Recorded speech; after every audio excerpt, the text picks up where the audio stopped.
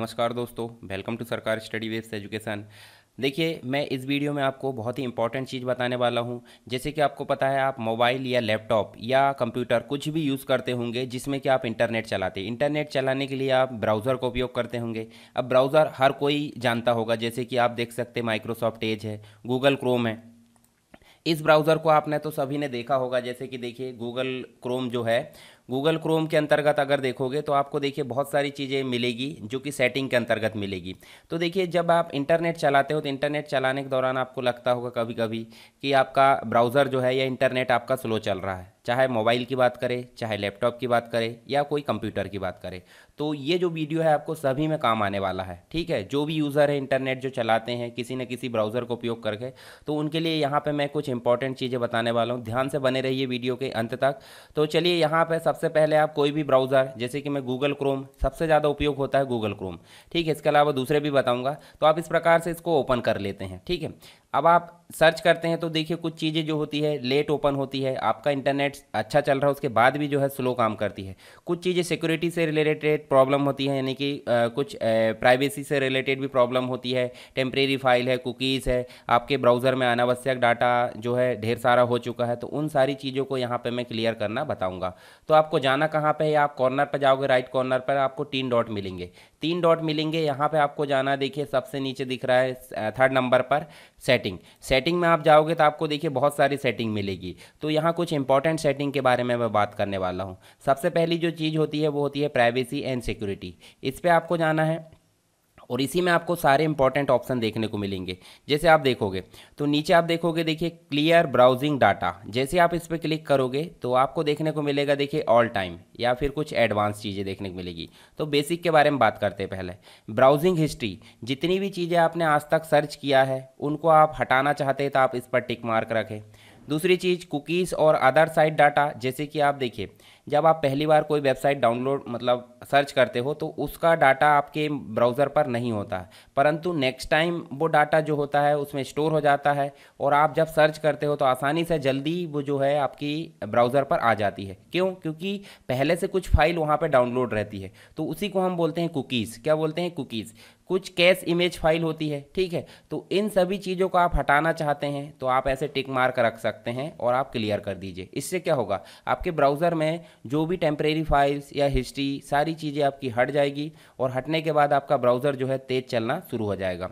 कुछ एडवांस चीज़ें होती है तो एडवांस में आप जाओगे तो ब्राउजिंग हिस्ट्री डाउनलोड हिस्ट्री भी यहाँ पे होती है। कुकीज़ होता है कैश फ़ाइल साथ ही साथ आपने ईमेल आईडी सर्च किया होगा मतलब ईमेल आईडी लॉगिन किया होगा फेसबुक लॉगिन किया होगा, कोई आवश्यक चीज़ें जो आपके पासवर्ड से रिलेटेड होती है, उससे रिलेटेड चीज़ें भी आपके जो ब्राउज़र में वो स्टोर हो जाती है। तो उनको भी आप हटाना चाहते हैं, उसको आप टिक रख दीजिए।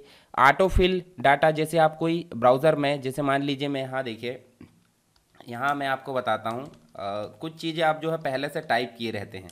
ठीक है? तो देखिए, यहाँ पे जैसे मान लीजिए मैं डब्लू डब्लू डॉट क्या टाइप कर रहा हूँ? कुछ भी। तो गूगल टाइप करने से पहले गूगल आ जा रहा। है तो ये क्या है? ऑटो फिल की सुविधा है। तो इस ऑटो फिल की सुविधा हटाना चाहते हैं। साइट सेटिंग होस्टेड इन सभी चीज़ों को आप टिक करके और क्या कर सकते हैं? क्लियर ब्राउजिंग डाटा जो भी चीज़ें हैं। तो ऐसे में अगर क्लिक करूँगा तो सारी चीज़ें जो है यहाँ पे हट जाएगी, ठीक? और हटने के बाद आपका जो ब्राउज़र है, काफ़ी तेज़ चलना शुरू हो जाएगा। चलिए, मैं इसको नहीं हटाता क्योंकि इंपॉर्टेंट चीज़ें हैं मेरे इसमें तो मैं नहीं हटाता। आप चाहे तो इसको क्लियर डाटा कर देना, चाहे क्या, करना ही पड़ेगा। क्यों? क्योंकि जो चीज़ें हैं आपकी हट जाएगी टेम्परेरी चीज़ें, और आपका ब्राउज़र तेज़ चलना चालू हो जाएगा। दूसरी नेक्स्ट जो इंपॉर्टेंट चीज़ होती है सिक्योरिटी की। सिक्योरिटी में जैसे आप जाओगे तो आपको मिलेगा यहाँ पर कुछ अलग अलग प्रकार की प्रोटेक्शन मतलब जो ब्राउज़र है, जैसे कोई हैकर वगैरह या जो स्पाई वेयर है, बहुत सारे जो डाटा चोरी करने की जो टेक्निक है साइबर क्राइम से रिलेटेड चीज़ें तो उनसे बचना है तो आपको देखिए यहाँ पे प्रोटेक्शन रखना पड़ेगा अपने ब्राउज़र में। तो देखिए यहाँ पे अगर कोई भी प्रोटेक्शन नहीं रखना है तो नो प्रोटेक्शन ठीक है? और तो यहाँ पे देखिए, कुछ भी चीज़ों के लिए यहाँ पे रिकमेंड नहीं करेगा गूगल क्रोम फिर है स्टैंडर्ड प्रोटेक्शन आता है ये देखिए स्टैंडर्ड प्रोटेक्शन तो स्टैंडर्ड प्रोटेक्शन में कुछ बेसिक प्रोटेक्शन आपको देखने को मिलता है। पर हम चाहते हैं हमारे ब्राउज़र को फुल्ली प्रोटेक्ट किया जाए। तो इन्हेंस्ड प्रोटेक्शन आपको देखने को मिलेगा। यहाँ पर देखिए आपको सारी सिक्योरिटी देखने को मिलेगी। तो कभी भी ध्यान रखना, इसी प्रोटेक्शन का आप यूज़ करना।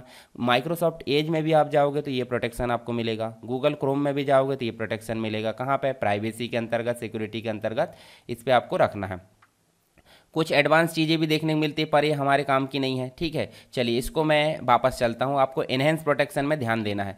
साइट सेटिंग की अगर बात करें तो आपके देखिए, आपको जो है यहाँ पे देखने को मिलेगा।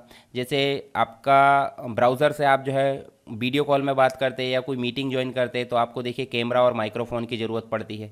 तो कैमरा और माइक्रोफोन को आप अलाउ कर सकते हैं यहाँ पे। अगर नहीं करना तो आप देखिए यहाँ पे डोंट अलाउ कर सकते हैं, साथ ही साथ।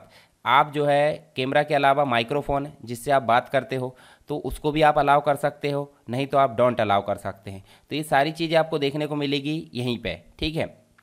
कहाँ पे? साइट सेटिंग के अंतर्गत। कुछ इंपॉर्टेंट चीज़ें और होती है चलिए यहाँ पे मैं दिखा देता हूँ आपको। आ, जैसे साइट सेटिंग हो गया। इसके अलावा देखिए आपको पासवर्ड से रिलेटेड ऑटोफिल देखिए ऑटोफिल एंड पासवर्ड देखने को मिलेगा। कभी कभी क्या होता है, हम पासवर्ड भूल जाते हैं। मतलब पहले से सेव रहता है पासवर्ड भूल जाते देखिए, यहाँ पासवर्ड मैनेजर नज़र आ रहा है। पासवर्ड मैनेजर में आप जाओगे तो आपको देखिए, पहले से कुछ पासवर्ड यहाँ पर सेव रहते हैं तो उनको भी आप देख सकते हैं। ठीक है, इस पर क्लिक करके। परंतु यहाँ पे आपके जो विंडोज़ का पासवर्ड है, वो डालना पड़ेगा। तो जैसे आप विंडोज़ का पासवर्ड डालोगे तो यहाँ पे आपको जो पासवर्ड है सेव वाले, वो दिख जाएँगे, ठीक है? तो इस प्रकार से आप जो है, अपने गूगल क्रोम या कोई भी ब्राउज़र को मैनेज कर सकते हैं, ठीक है? इसके अलावा इसमें कुछ सेटिंग्स होती है तो सेटिंग्स हमारे ज़्यादा काम की नहीं होती है। गूगल क्रोम यहाँ देख सकते हैं, ठीक है? जो आपका अकाउंट है, वो लॉगिन दिख रहा है, ठीक है? सिंक सिंक्रोनाइज की सर्विस देखने को मिलेगी बुक मार्क इम्पोर्ट और एक्सपोर्ट करने की चीज़ें यहाँ देखने को मिलेगी। चलिए, ये बाकी की चीज़ें आपकी अभी काम की नहीं है। मैंने आपको यहाँ पे दिखाया हूँ कुछ इंपॉर्टेंट चीज़ें।